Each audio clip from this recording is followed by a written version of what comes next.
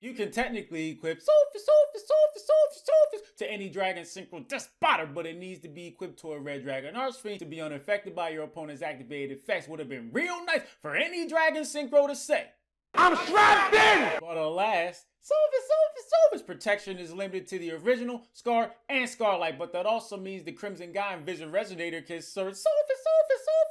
So sorry for doing it three times, but I just couldn't resist. The feeling was just too strong in my long dick. What are the chances you want to change all your opponent's monster attack to at least 3,000? About a zero. Won't matter if Crimson Gaia's on the field, because you can flip them face down. And Scar destroys your opponent's attack position monster when used as Dark Dragon Synchro material, so there's no reason to ever do this. Why is this effect even here? Because monsters get over 3,000 attacks so often.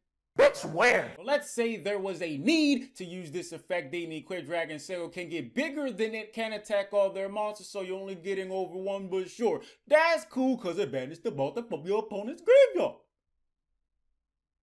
Just play it for the protection. Thanks for watching. If you would like to support me, and you should, my Patreon, Cash App, Venmo, PayPal's in the description. Channel memberships $3. Where's that Dis Pater at?